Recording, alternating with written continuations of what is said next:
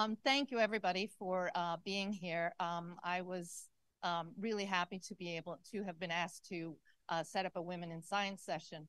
Um, my focus for this session is I look around uh, in a particular region where a conference is, and I look at the research that's going on and select out women who I see are doing really interesting, uh, exciting work, and then contact them and beg them to come because they're always very busy. Um, I've selected women uh, researchers here, as I said earlier, who are working in a variety of areas of large science that have all stemmed from uh, genomics work that have now led to all sorts of ways of looking at food security, at looking at detecting a disease, at new technologies, um, and uh, metabolites, uh, I mean, I'm sorry, metagenomes for understanding the gut micro, uh, microbiota to see how it might implicate uh, issues with aging, disease, obesity, et cetera. So these are the, the, the talks that I've chosen to sort of embrace the entire area. First, though, you get to listen to me talk about some of the issues and why I think that um, it's really important for all of us to embrace putting a hand out to reach to the people who aren't always represented in the international community and the issues that um, a lot of uh, women researchers face. But I need to also highlight that although I'm talking about women in science, this is not a only women are having a problem.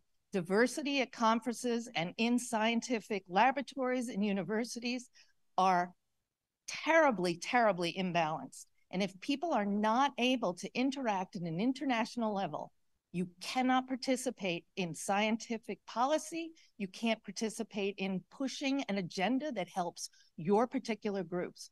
And so this is the battle that I've chosen, which is helping women in science. But anytime there's a way in which the things we're doing also can help promote other people who are in a similar situation who are not being heard, this is when you join together because I think collaboration, as Fred put it, is always always the best thing you can do in the sciences.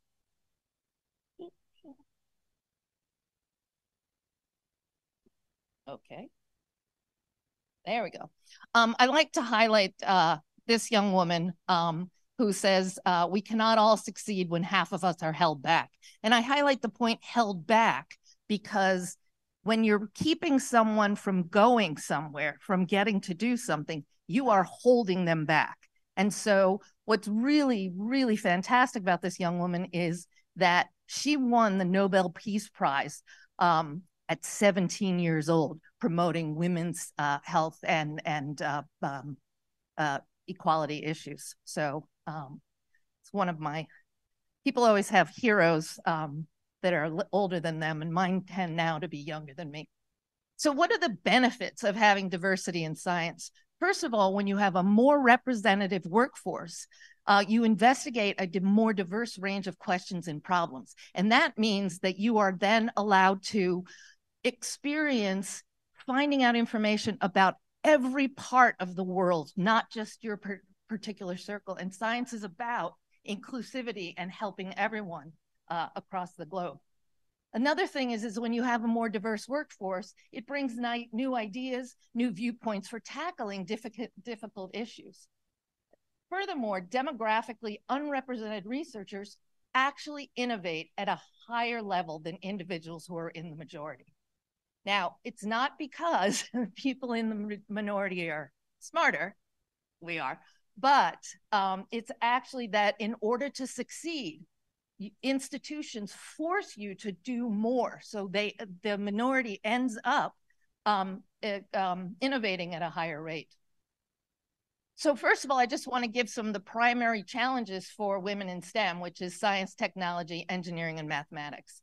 So some of the things that women face are um, explicit or implicit bias and explicit is when women aren't smart, et cetera, and people just say that. But implicit bias is more difficult because you don't even know that you are looking at someone and thinking, that's not a scientist. And so they have tests where you look at pictures of things quickly and you say, scientist, not scientist, scientist, not scientist, et cetera. And depending on how long the delay is, they can tell whether or not you're like, I'm not immediately recognizing that. Implicit bias is very hard to fight. Um, a hostile work environment. This is actually why I left research. The bench was just uh, being around people who were constantly belittling you and going after you. It, it's why would I stay in that field? Um, Nearly 50% of women report being the subject of workplace harassment. And to be clear, I'm not talking just about sexual harassment. Harassment is anything that makes your workplace uncomfortable. So, um, and then the uh, the next difficulty is the stratified promotion system, which I mentioned with regard to minorities innovating at a higher rate. Um, and that's because women have to do more and more in order to receive a similar raise or promotion women receive fewer grants. When they get a grant, it provides less money. They also receive fewer awards, and those also provide less money. And then finally, there are reduced inter- uh, opportunities to interact with peers on an international um, level. Case in point is the places that you get to interact at an international level are at international conferences, courses, et cetera. So, women in science by the numbers. First of all, the greatest focus for a long time has been trying to promote young women to get into the STEM fields. But the fact of the matter is, this has worked super well, and the number of women entering STEM fields is, is um, greater than 40%. Obviously, there are certain areas like physics where women are trailing behind significantly. The life sciences tends to be closer to 45%. What really is the problem is that women leave the STEM fields. Women who start out in tech intensive industries leave for other industries at much higher rates than men. 53% of women who have entered STEM fields leave compared to 31% of men. Almost one third of the women in the US, 32%, and in China, 30%, plan to leave their STEM jobs within the next year. Now, I want to highlight that this does vary by country. Um, and women in Brazil and in India are uh, in, um, in the low 20%. So this is actually how things are working in women in science. It's a, it's a what's called a leaky pipe, and that there are particular points during a person's track through um, as they progress through their career where you lose people. And the biggest um, the biggest impact is when women get married and when women have children. After that, it starts to be um, things where women aren't promoted at a similar rate. So if you look in a, most uh, companies and institutions, if you look at how many junior women are at the lower levels compared to how many senior, you do not see a similar uh, percentage. So things have been really drastically changing over the last decade, which has been wonderful to see. Institutional programs have been uh, fully invested in to reduce workplace harassment. Um, what was when I was in graduate school, how a university dealt with if you were having problems in the lab was to move the women to another lab rather than discipline the professor so that the woman would have to start all over again. That was when I was like, no, I'm out. Um, institutional policies on managing harassment have been invested invested in. There's training for implicit bias. And actually, you should read a lot about implicit bias. I was absolutely fascinated by how I thought about things that I thought, no, I'm not biased against that. I was like, whoa, yes, you are. Um, there are a lot of legal protections for women now. And what I really need to highlight is all of these changes have been instigated by external forces. No university, no company said, oh, you know what, this is a problem. It only turned out when people got together and, and pointed it out. And that's why it's essential for everyone in the community to be involved in promoting change. Um, the international conferences, I know Huanming always wants to beat me up about this, but international conferences are one of the primary places where um, in, uh, researchers can interact in scientific discussions, decisions, and policy making. When you're a speaker at a scientific conference, it increases your visibility, it increases your reputation, It increases, uh, it is one of the best ways to make connections, collaborations. And so if you're not on the stage at some point, people effectively don't know that you exist because, you know, we don't have uh, pop-ups on YouTube showing our paper. Um, so being a speaker basically at an international conference allows a researcher to really become part of the international dialogue. Now, women have been significantly underrepresented as conference speakers and even as, especially as keynote speakers. And up until 2010, the number of women speakers on average at international conferences was 20% or less. Over the last decade, made the majority of international conferences have made huge progress in making sure to have a diversity of speakers in different venues. It's only been, though, over the last five years that international uh, scientific conferences have begun to have true equity between men and women. Equity in terms of uh, uh, other areas of diversity, such as race, uh, global location, et cetera, lag far behind. Um, this is just an example of um, four different big uh, virology conferences that I want to show that in 2001, these were the number of male speakers, the percent of male speakers. This was a percent of female speakers. And you can see by 2016 and 20 uh, and 2021, you see this final convergence where in all of these conferences, you start to see an equal number of women uh, in um, and men uh, speaking on the stage. So there's that's why I I'm not like complaining about like the world is evil and mean. Um, things have been changing, and it's very very exciting to see. Um, and that's why I'm not happy a lot of times when I see 20%. Um, now, until international conferences include diversity of speakers of all types, we are not going, we are going to continue to have disparity throughout the world. Um, so it's all of our responsibility to ensure that the entire international community is engaged in our scientific discussions. And one of the things that I usually do is what I call check before you accept. And when people ask me to speak at a conference, I say, what is your percentage of of, of diversity in your conference. And for women, if it's not 30%, I won't speak at it. Um, I have a wide array of information on how to improve diversity at your scientific conferences. If anybody is interested in me sending them information on the best ways to do that. Um, okay, so one of the things that has moved things along is out with the old. Um, when I started in graduate school and all the way up until recently, I was at a conference and I said, the last time I go to a woman in science workshop, uh, is the same exact thing happens. There's a one to two hour panel of uh, on the issues, and all of them provide literally, if I taped it, I would just play it over and over. Three statements as the recipe for success. One, get a mentor no information on how, what makes a good mentor, how you could do this, just get one. The second, promote yourself. Again, no information on different ways to achieve this. Mostly it's speak up. Well, some people are shy, and there are a million other ways to promote yourself than just walking up to someone and saying something. And then I don't know why, but they always say, just work hard. And I'm thinking, well, don't the guys have to work hard too? So I, I've never understood that.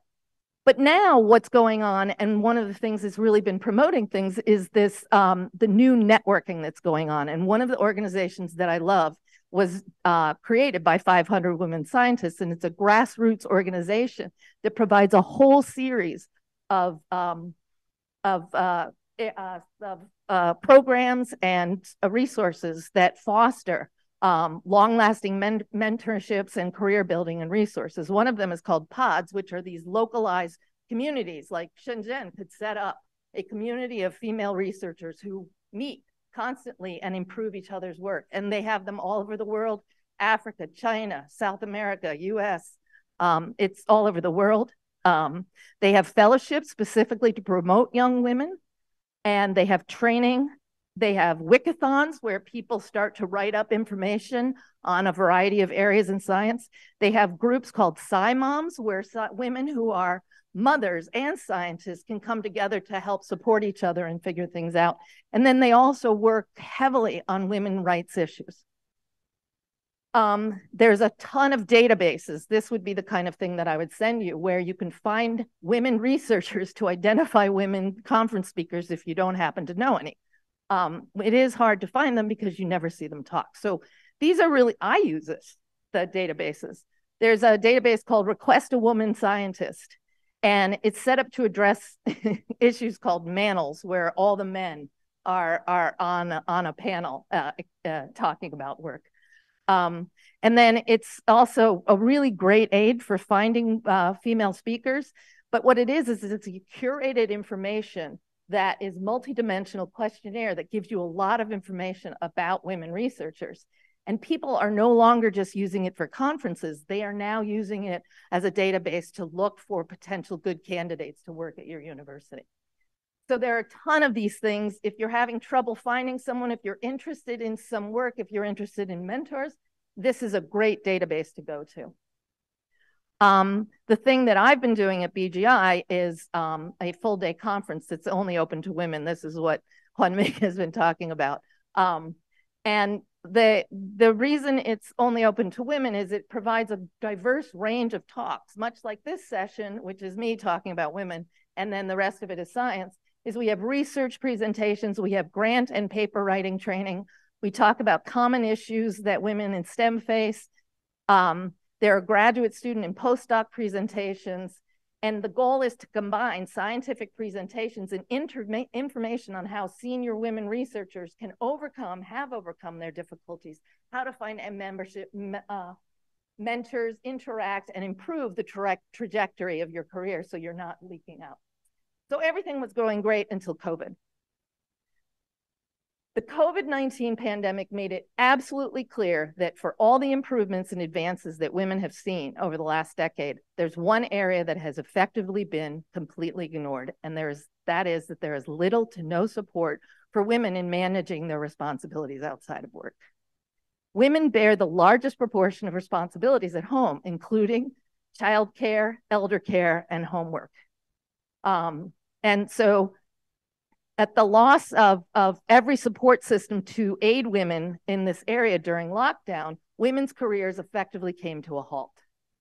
And so what that did was that hit right at this point where you are building your career, where you also have mostly uh, children, you're also just getting married. And so it hit right at the time when you are supposed to be your most productive. So childbirth differentially impacts women and men in the workforce. After having their first child, 43% of women left full-time jobs, twice as many as new fathers. Household responsibilities are also differentially uh, impacting men and women. On average, women spend 8.5 more hours per week on childcare and housework than men.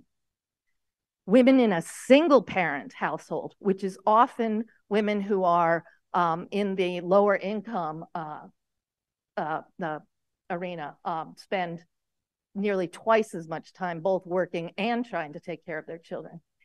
During the pandemic, women who were in two parent households spent more time on childcare and homeschooling did the men. And women were more likely to reduce their working hours and change their schedules in order to accommodate family than the men.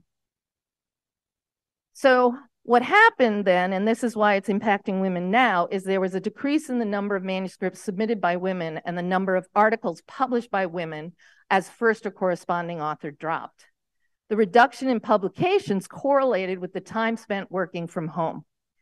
And the proportion of female authors then increased again after end of home working. Um, so women production rates were 17% lower than men's in 2019 and 24% lower in 2020. The biggest impact was on the women who were working in early and middle phase of their career. And this is the time, as I said, when this is what you need to do to establish your career. You have to do everything you possibly can. And the dice are already stacked a bit against you. So this is why there's long-term career damage to all of these women from the two years of home. The article publication advances in the laboratory are your key measurements for career advancement and funding decisions a loss of publications and productivity doing a two year span at the prime time that you're trying to get uh, uh, uh, uh enough material to advance your career to get grants are basically gone. A pause in a project because you couldn't work while your international colleagues were still working on a particular project put your entire lab behind because you cannot catch up, you can't get your papers into high impact factor journals, et cetera, because other people have already completed their work. Um, and then basically what it comes down to is unless new mechanisms right now are put in place to assess the productivity of women that happened during the pandemic, they will not be able to catch up for a generation or more, and you will lose a generation of women in science.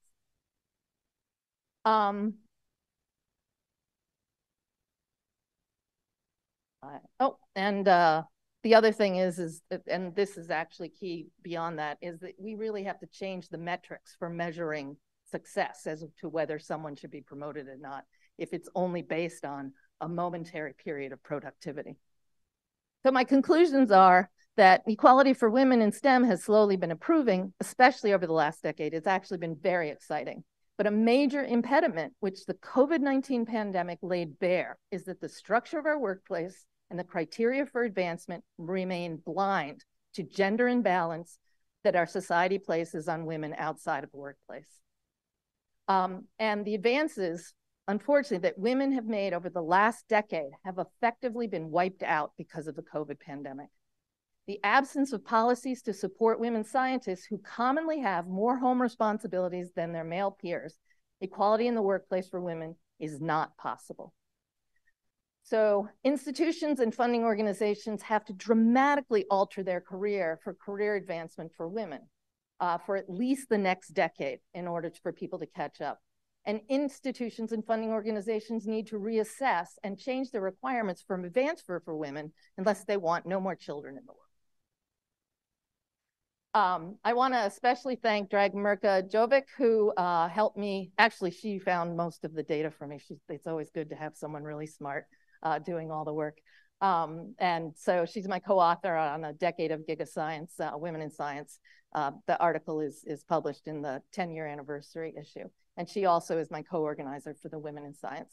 And then, of course, I have a fantastic team, male and female, and uh, um, the GigaScience team, who are all extraordinarily hardworking in pu pushing diversity, both at conferences, but also in publishing. So with that, um, I'd like to thank you for listening.